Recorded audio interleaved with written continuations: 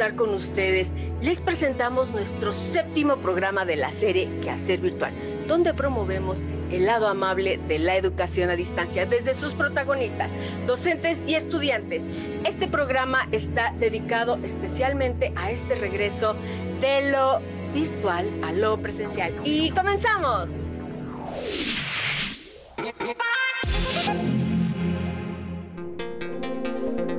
Hola, mi nombre es Alma Bojorques. Soy ingeniera industrial y actualmente estudio la licenciatura de Pedagogía a Distancia en la UNAM.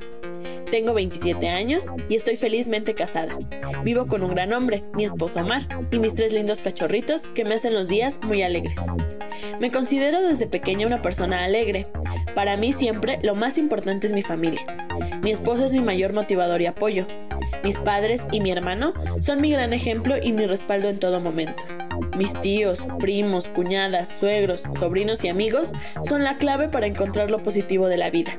Y mi ángel en el cielo es mi abue que nunca me deja sola. Decidí estudiar pedagogía a distancia porque a lo largo de mi vida académica tuve la fortuna de encontrarme increíbles maestros que dejaron una huella importante en mi vida y me gustaría poder hacer lo mismo por las futuras generaciones.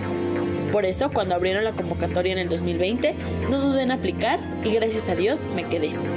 Confieso que disfruté muchísimo todos los primeros pasos para iniciar el semestre. Conocer las impactantes instalaciones de Ciudad Universitaria y sentirme parte de ella fue maravilloso.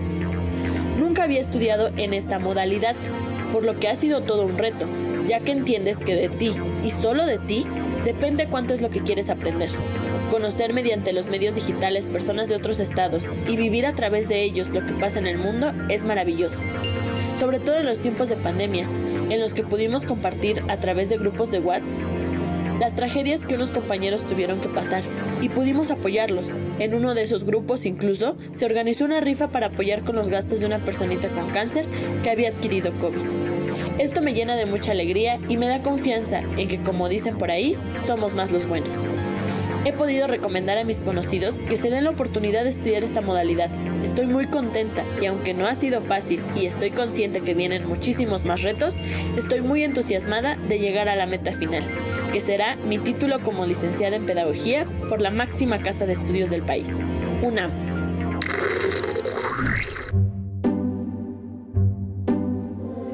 Estamos felices en el quehacer virtual porque tenemos una maestra invitada sorpresa. Ella se llama Laura Alejandra Moncada Rubí. ¿Y de qué vamos a platicar, mi querida Laura?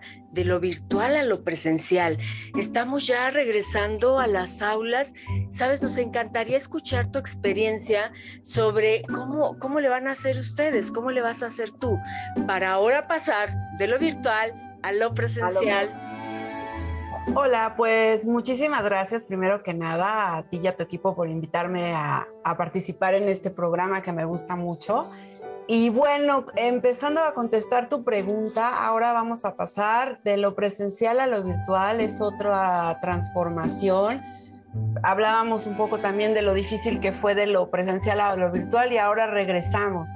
Yo creo que lo primero que tengo que tomar en cuenta es el estado emocional de mis chicos, cómo voy a trabajar con ellos, cómo los voy a recibir.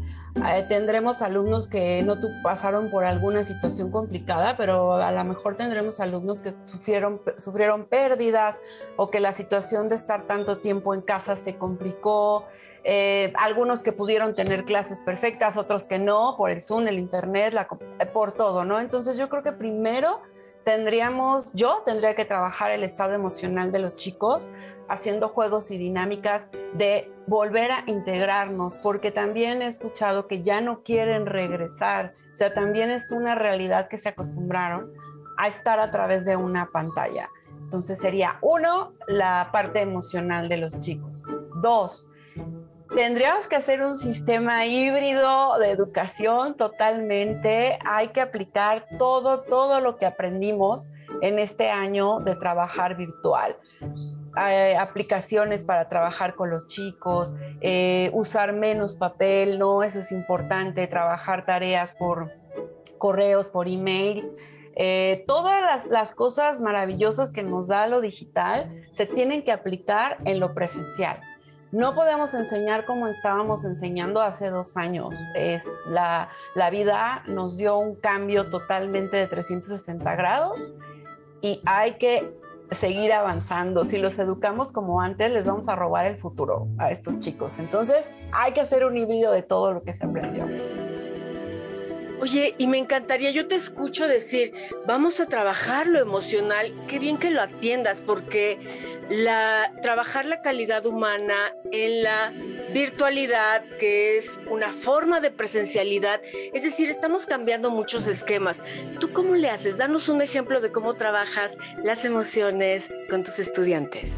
Las emociones las trabajo desde preguntar un simple hoy cómo estás, ¿no? Yo creo que muchas veces no nos, no nos frenamos realmente a hacer esta pregunta. Y como yo trabajo con preadolescentes o adolescentes, es muy difícil que contesten cómo están tienes que eh, buscarle, sacar hilo. A lo mejor muchos eh, alumnos no se prestan a hablar, pero yo empiezo como, ¿cómo ves que ganó el Cruz Azul la final después de tantas? Tienes que involucrarte con lo que les guste a ellos. O sea, a través de este tiempo los vas conociendo y sabes si les gusta el fútbol, si no les gusta, si les gusta qué cantante está de moda, cuál concierto, cuál aplicación, cuál juego de video está super in, qué app ocupan.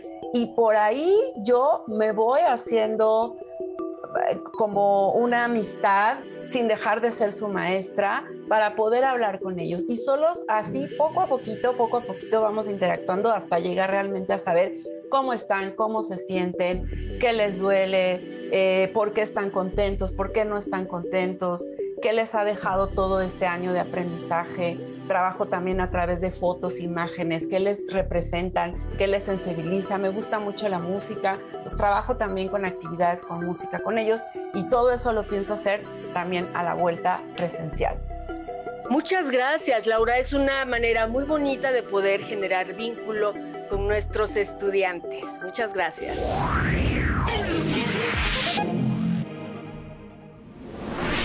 Nombre es Ricardo Adán Jiménez Waldo, soy docente de, en este caso, el área de ciencias, matemáticas. Y bueno, eh, la virtualidad ha sido un gran apoyo para todos nosotros como docentes, ya que nos ha permitido acercarnos de alguna u otra forma con nuestros alumnos. Una forma de trabajar con los alumnos es mediante el aprendizaje basado en proyectos, aprendizaje basado en problemas, aula invertida. Estas diferentes metodologías lo que han hecho es que nos ayudan a poder centrar el aprendizaje en los alumnos, a llevar a cabo que los alumnos sean aquellos los que obtengan su propio conocimiento y lo puedan eh, aplicar a las diferentes actividades que realizan eh, en su día a día. Uno como docente, lo más importante que tiene que hacer es tratar de impulsarlos, tratar de lograr que ellos puedan eh, tener esa curiosidad para poder lograr sus aprendizajes. Pocas veces ellos se pueden acercar a un libro, a un video, si no es porque un docente les pide que lo hagan. Entonces, eh, esta modalidad eh, a distancia ha permitido que ellos puedan lograr este conocimiento.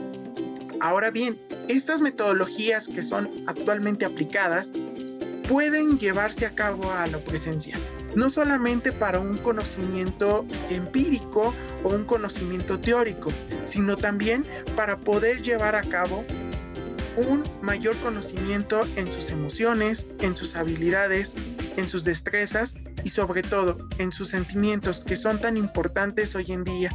Regresando a las aulas era un gran reto debido a que hay que volver a llamar la atención de los alumnos no en el conocimiento, sino en su socialización, en su aprendizaje, en su forma de relacionarse con los demás y sobre todo en el trabajo de sí mismo, ya que sus emociones serán fundamentales para poder lograr que el alumno logre sus objetivos.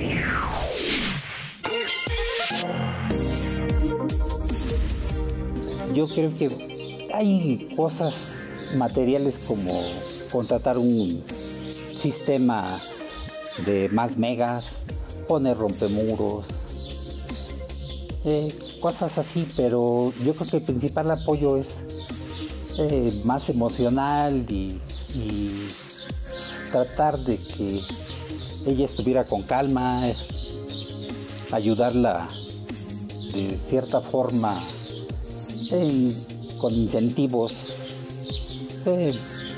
Como no incentivos monetarios ni, ni, físicos, sino intelectuales, haciéndole preguntas, cómo, cómo vas, cómo está tu, cómo va tu trabajo, qué perspectivas tienes, qué piensas a futuro ahora que te estás preparando, porque pues ya la educación a distancia es algo muy de primera necesidad y sobre todo en estos tiempos tan inseguros del mundo en general.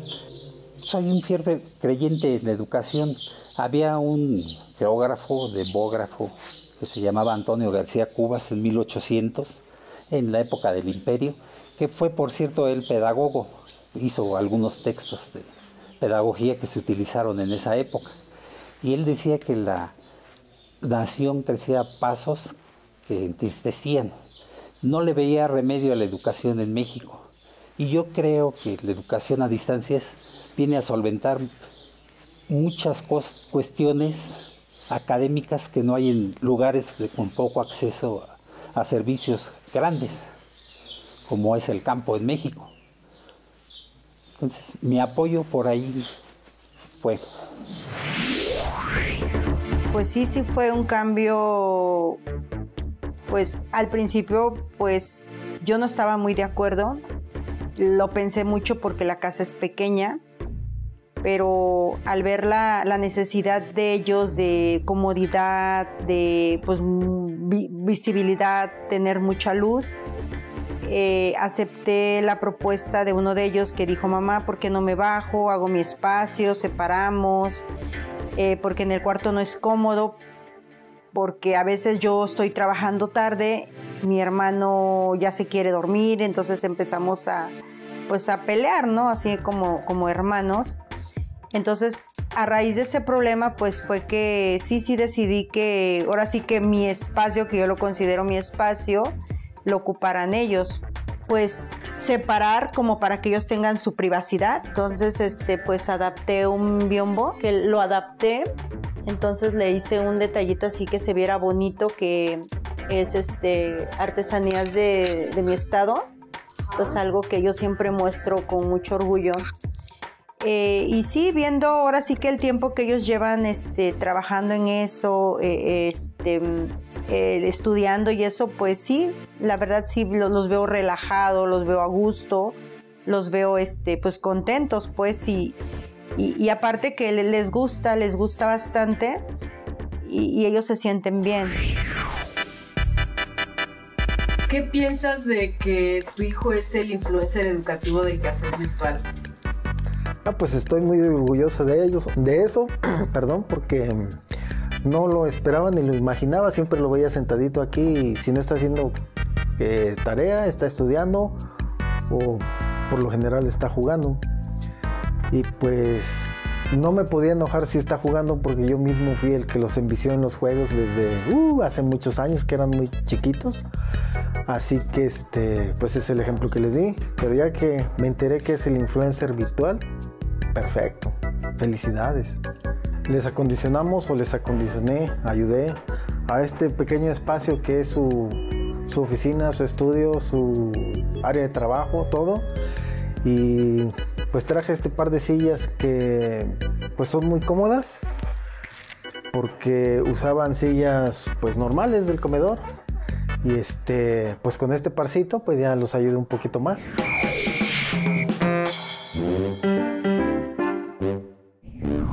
Al fin es hora de mi examen. Me preparé toda la semana. Todo mi esfuerzo valdrá la pena y obtendré mi respectivo 10. y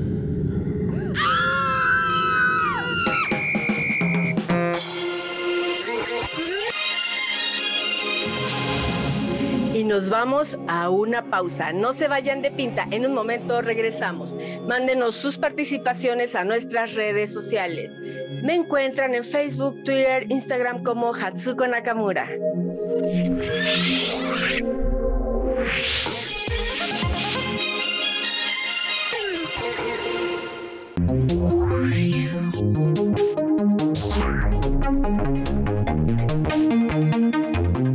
Gracias por seguir con nosotros. Recuerden mandarnos a nuestras redes sociales sus aportaciones. Me encuentran en Facebook, Twitter e Instagram como Hatsuko Nakamura. Y los dejamos con la siguiente sección, el recreo. Disfrútenla mucho.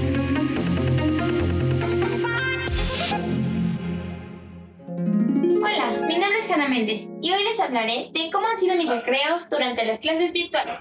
¡Comencemos! Mi día empieza a las 10.45 cuando me levanto, tiendo mi cama, me arreglo y bajo a desayunar. A las 8 de la mañana tengo que estar preparada para mi primer clase. A media mañana tengo un descanso de 30 minutos. A veces aprovecho para hacer videollamada con mis amigas o mi prima. Otras me pongo a leer o juego con mi gatita Cia.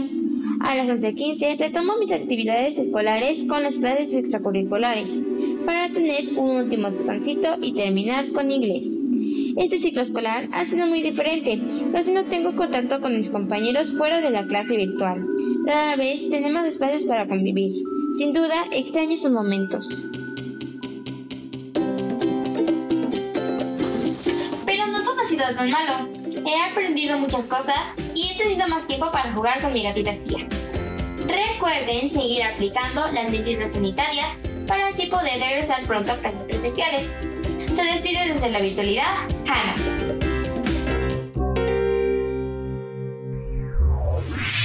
Qué importante de lo virtual a lo presencial. Seguimos con Laura Alejandra Moncada Rubí platicando cómo le vamos a hacer. Oye, Laura, vamos a regresar un poquito en el tiempo. Cuando a ti te dijeron, Laura, te vas de lo presencial a lo virtual y entrale al Zoom, platícanos un poco cómo fue esa entrada todo lo que viviste y ahora te dicen, Laura, nos vamos de lo virtual a lo presencial. Platícanos un poco. La primera fue sentí miedo, sentí mucho miedo porque estoy muy de las emociones con ellos y entonces eh, me, me, iba a costar trabajo cómo los voy a conocer a través de una pantalla. Después esto de qué es Zoom, no sabía ni de qué se trataba, un miedo terrible a, a esta virtualidad Ah, y lo más importante que aprendí es aprender con ellos. O sea, fue esta ellos me enseñaban y me, guiaban cómo trabajar y cómo dar clase. Eso fue de verdad muy interesante que ellos me fueron coachando, mis, hasta el me escucha, no me escucha, no te ves, la pantalla, el fondo, mi salió esta nueva aplicación, te puedes dar de cabeza, el fondo tal. De verdad, ellos fueron muy importantes para mí, los alumnos, y yo creo que fuimos aprendiendo juntos y eso mismo me ayudó a poder conocerlos a través de una pantalla. Ahora ya sé perfecto si prenden o no la cámara, por qué la prenden, por qué no, si entran tarde, eh, les veo los ojitos, la cara. Se fue aprendiendo durante todo este año. Fue miedo y después fue un gusto enorme. Para mí la balanza ha sido satisfactoria porque siempre eh, aprendí mucho. Aprendí, aprendí, fue un aprendizaje importante.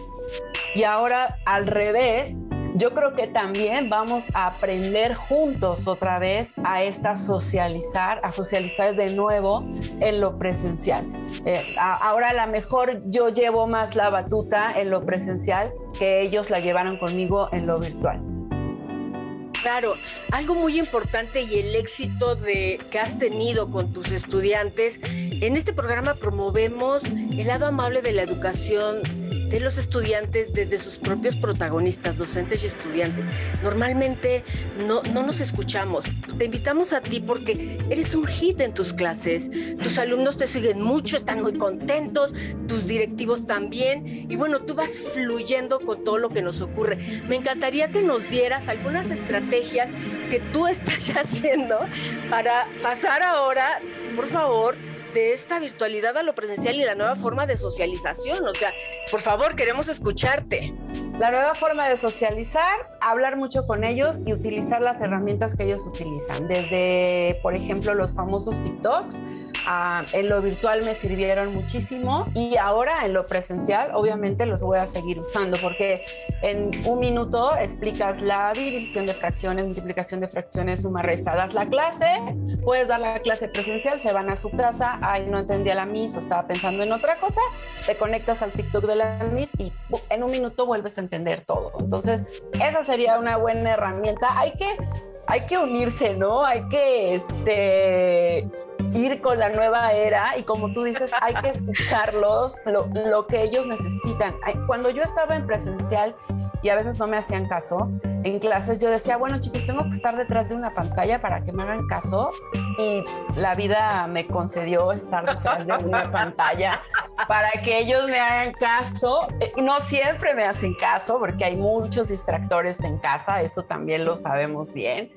pero hay que aprender a trabajar también con estos distractores. Entonces, esas, todas esas herramientas, TikTok, juegos como Kahoot, el Jeopardy, que a mí me encanta mucho jugar con ellos, Jeopardy con muchas categorías, obviamente lo puedes llevar a, un aula presencial. Entonces, esas serían unas buenas, unos buenos tips para los que vamos a regresar a, a presencial. Laura, un gusto escucharte. Muchísimas gracias por todas las orientaciones que brindas a los profesores. El quehacer virtual y los profesores que te escuchan te agradecen. Hasta la próxima. Hasta la próxima. Gracias a ustedes. Muchas gracias. Soy Isabel Gómez Martínez y estoy estudiando el tercer semestre de licenciatura en Pedagogía a distancia en la UNAM. Vivo en Tultepec, Estado de México, autonombrado capital de la pirotecnia. Desgraciadamente me ha tocado ver la cara fea de este municipio. Justo antes de comenzar con esta carrera estuve viviendo en Tijuana. Tenía la intención de cruzar la frontera. Pensaba alcanzar a mi hermano víctima de la discriminación en Estados Unidos. The man and the woman did take the case of beer. All this over a case of beer, the clerk is going to be okay. Me encanta la educación a distancia. Creo que es la mejor opción para muchas personas que tenemos diversos roles que cumplir o para quienes no viven cerca de la universidad. Es súper práctico. Nos permite ir creciendo a nuestro ritmo. Nos exige responsabilidad a pesar de ser flexible con los tiempos nos hace madurar en el sentido de la autonomía y la independencia. Siento que con este tipo de educación ya no hay pretextos de tiempo, de dinero, de nada. Los que estudiamos a distancia sabemos que el tiempo se puede organizar, que el dinero no se exige y es mínimo el que se requiere, que además existen los apoyos como las becas. Sabemos bien que los límites los ponemos nosotros, simplemente no hay excusa para dejar de estudiar. También formó parte de la estadística de lo que el 2020 se llevó, aunque por motivos distintos durante la pandemia me despedí de mi papá en su natal Acapulco. Aún estando fuera del Estado de México me fue posible atender mis clases y trabajos. Es una más de las bondades de esta carrera a distancia. Soy hija,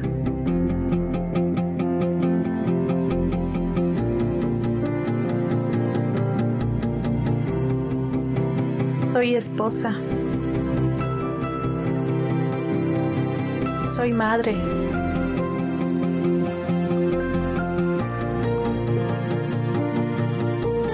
Soy mujer.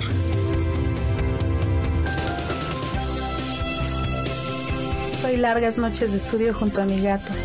Soy igual que tú, estudiante del SUAYE. Yo soy orgullosamente humana.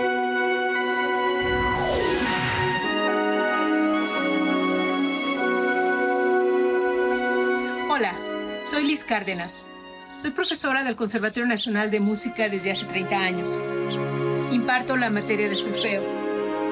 Durante esta pandemia, utilicé diferentes herramientas con mis alumnos y diferentes estrategias para poder ayudarles en su desempeño y en su desarrollo dentro del solfeo.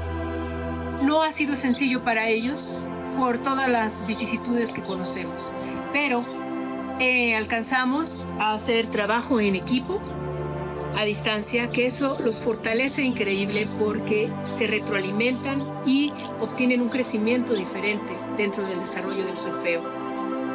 También utilizábamos antes de la pandemia el WhatsApp, el correo electrónico y que eso fortaleció mucho ahora, estando en pandemia, fortaleció increíble el hecho de que ellos ya estaban acostumbrados a este tipo de trabajo.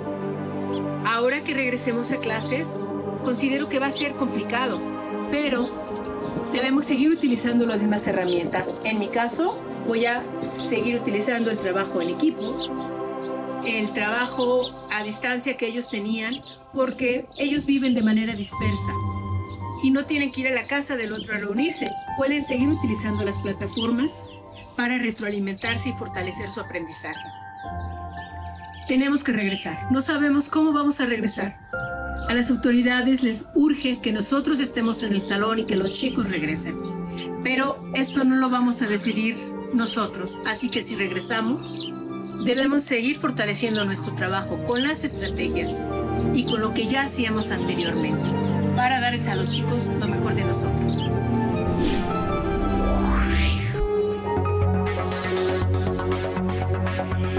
Llegamos al cierre de nuestro programa con una frase preciosa que nos envió Maribel Erika Andrés Castillo que dice así, vamos a escucharla de su viva voz. La ignorancia te atrapa y te encadena en una terrible condena. La imaginación y el saber son alas de libertad.